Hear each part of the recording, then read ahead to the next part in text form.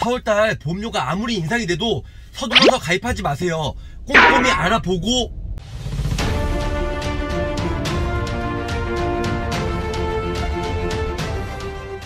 굿모닝 보험왕입니다. 반갑습니다. 자 오늘도 목요일 아침 저 신나게 또 기분 좋게 회사에 출근 중입니다. 자 요즘에 많은 분들이 저 보험한테 연락 주시고 또 이게 관심 가져 주시고 문의 주셔서 감사드리고요. 그 구독자 조회수도 점점 계속 늘어나고 있는데 제가 진짜 갑자기 많은 사랑을 주셔서 뭔뜻발이 모르겠습니다. 더 열심히 하라는 의미에서 더더욱 열심히 뛰고 또 좋은 정보 많이 올려드리도록 할게요. 자 오늘은 일단은 보험가입 하신 분들의 성향에 대해서 좀 설명을 드릴까 해요. 일, 일단은 보험가입을 저한테 문의 주신 분들이 뭐 이제 보험이 없으신 분들 사회 초년생이거나 그럼 그런 분들은 30세 전에 어린이 보험을 많이 가입을 하죠. 근데 40대에서 60대 사이 분들도 많이 연락을 주고 있거든요. 보험왕님, 저 기존에 보험이 정말 많이 가입되었는데 이거 리모델링 좀 부탁드려요. 그럼 제가 기존에 가입된 보험들 사진을 찍어서 저한테 카톡으로 보내주시거든요. 그럼 제가 그 내용을 보고 이제 증권 분석을 통해서 불필요한 담보, 불필요한 담보라고 하면 이제 보장받기 힘든 부분들 그런 부분들은 좀 삭제를 하고 수정을 통해서 보험료는 거품을 짝짝 줄이죠. 그리고 이제 보장받을 수 있는 부분들 확률적으로는 암, 뇌질환, 신장질환 아니면 수술비 쪽 위주로 많이 넣어드려요. 물론 상해우장이나 질병우장에도 넣어드리긴 하는데요. 일단은 그분이 나중에 암이 걸릴지 뇌혈관이 걸릴지 심장질환이 걸릴지 아니면 사고리에서 후유장이 걸릴지 저는 몰라요 저는 신도 아니고 제가 점쟁이가 아니잖아요 근데 저는 건강보험공단에 의한 통계치에 의해서 암 같은 경우는 아직 아무래도 가장 많이 걸리고요 33%다 보니까 3명 중 1명이 걸리잖아요 그 다음에 뇌질환이에요 뇌질환이나 심장질환 이걸 두개 합쳐서 2대 질환이라고 하는데 거의 22%죠 그러면 암 33%랑 뇌질환 심장질환 합쳐서 거의 55%예요 그러면은 저의 그 영상을 보신 고객님과 저와 둘 중에 한 분은 걸린다는 거예요. 이 3대 질환이요. 많이 서글프죠. 그런데 그래서 3대 질환 진단금을 많이 두둑히 넣긴 하는데요.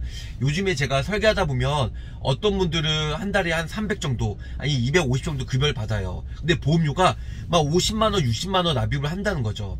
근데 그분들은 제가 얘기를 하죠. 기존에 있던 담보를 수정을 좀 해주세요. 그리고 좀 이렇게 감액이나 아니면 삭제나 해지를 하셔야 돼요. 근데 그렇게 얘기하면 이해는 하는데 여태까지 불입했던 보험료가 뭐 3년치, 5년치, 7년치 납입했던 보니까 되게 아까워해요. 아까운 거 인정해요. 왜냐면 여태까지 납입했던 보험료 돌려 못 받잖아요. 거기서 받아봤자 뭐 10% 20%밖에 못 받으니까 종신보험이야 환급률이 높다 보니까 뭐 3, 40% 받겠죠. 그런데 저는 이런 말씀을 드리고 싶어요. 앞으로 15년, 20년, 뭐 30년 납입인 사람들을 5년 납입했으면 25년 더 납입을 해야 되잖아요.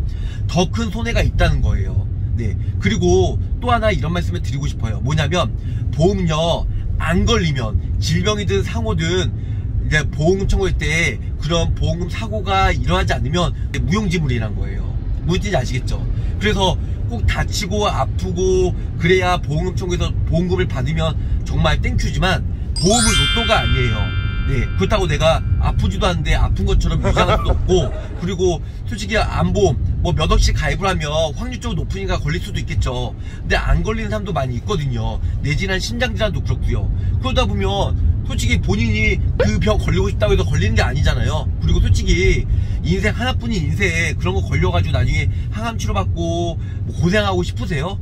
돈이 전부가 아니잖아요 인생이 물론 나중에 다치고 아프면 장로 속에 있는 증권 먼저 쳐다보는 건 맞아요. 그런데 그것도 보험료 납입할 수 있는 여력 내에서 준비하셔야지 좀 전에 설명드렸다시피 보험은 내 급여의 한 10% 이내로 저렴하게 가입을 추천해 드려요. 근데 말도 안 되게 막 50만원, 60만원 가입하시고 보험은 또 단기적으로 3년, 5년짜리 접근 상품이 아니잖아요.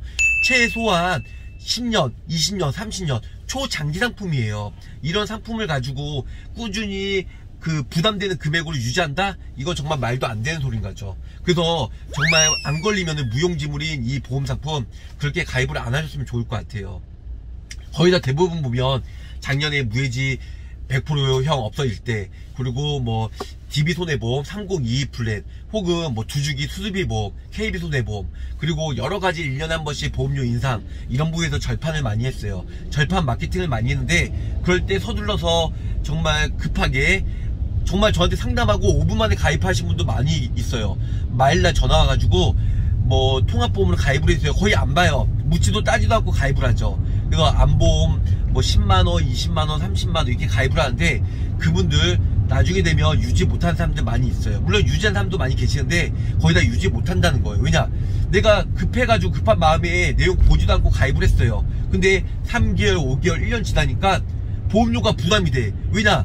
암에 대해서 뇌질환 심장 수술에 대해서 안 걸리거든. 그러니까 이게 부담스러운 거예요. 또한 부담이 스러우니까 그 부분 가지고 다른 설계사한테 증권 분석을 의뢰하는데 최소한의 어, 최대의 피해를 막고자 그렇게 리모델링 하면 좋은데 거의 뭐 삭제하는 사람들이 많이 있어요. 삭제가 아니고 해지하는 사람들이 많이 있어요. 그러다 보면 뭐 1년 납입했는데 그 19년치만 납입하면 되는데 또 새로 가입하면 아무래도 20년 또 납입을 해야 되잖아요.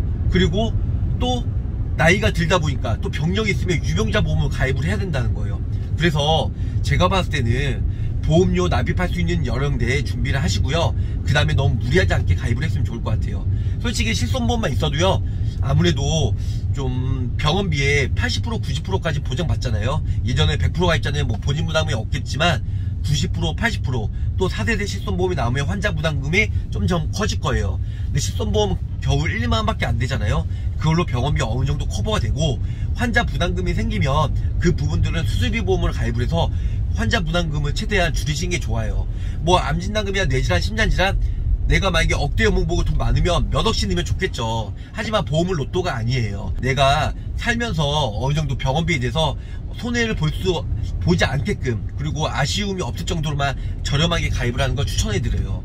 저 또한 물론 뭐 이제 다른 분들보다 수입이 좀 더 많이 벌곤 하지만 저도 보험 그렇게 많이 유지를 안 해요. 저 보험한다고 뭐 몇백만 원 납입할 것 같죠? 그렇지 않아요. 저도 저랑 우리 가족들, 우리 5인 가족 해봤자 거의 뭐 70만원 될려나? 네. 그렇게 보험료 7, 80만 원? 될 거예요. 그 정도 많이 안 내요. 7, 80만 원이면 그게 비싼 거 아니거든요. 왜냐면은 자녀 3명 해봤자 한 명당 뭐, 뭐 6, 7만 원 하면 3명한테 20만 원. 그러면은 우리 2명 거의 제가 또 종신보험 가입돼 있잖아요.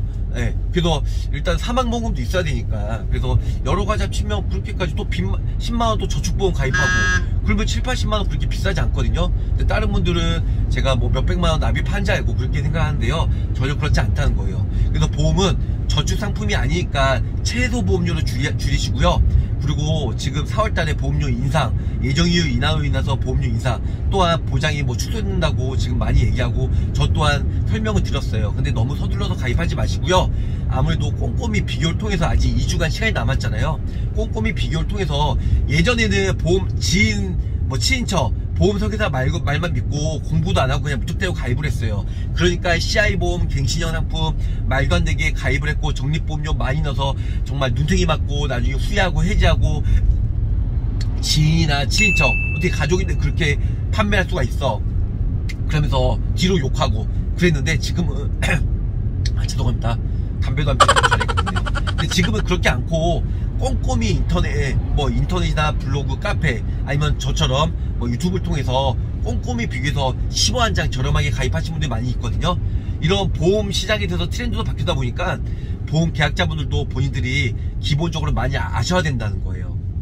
네 그래서 보험 기본적으로 본인들도 많이 좀 공부를 하시고요. 아무리 바빠다 할지라도 보험 설계사 말만 믿지 마시고 보험 내가 시간이 없다 뭐 공부할 시간이 없다 그러면은 저뿐만 아니고 한 두세 명 비교를 통해서 보험료 그리고 그 설계사의 철학 그리고 그 다음에 나를 끝까지 관리를 해줄 것인가 그런 부분 여러 가지 고려해서 가입을 천천히 하시는 게 좋으실 것 같아요.